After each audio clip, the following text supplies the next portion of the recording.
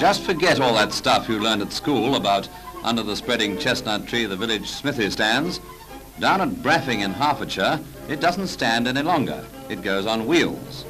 When a farm horse loses a shoe, he doesn't have to limp miles to the forge. The farmer gets in touch with Mr. Bysouth, the smith, who sends along his mobile unit to carry out the shoe repairs on the spot.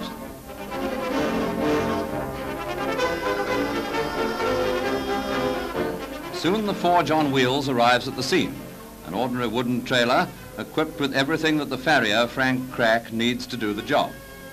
One advantage of being a blacksmith is that you can make your own implements, and much of the equipment for this mobile smithy has been made out of scrap that would usually be left around to rust. The ordinary anvil would be much too heavy to cart around, so Mr. Bysouth has rigged up a portable tripod affair weighing only 30 pounds.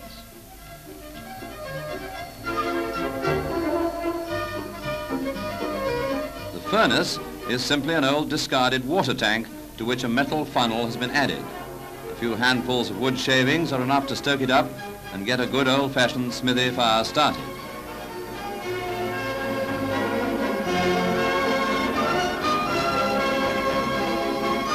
Won't be long now.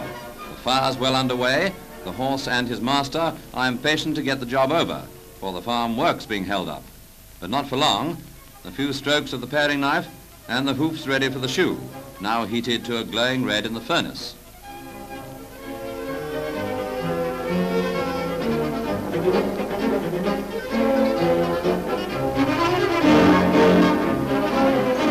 Now hold still.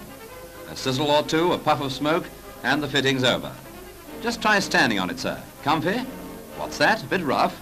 Don't give it a thought. A little attention with the file, and you'll feel you're walking on air.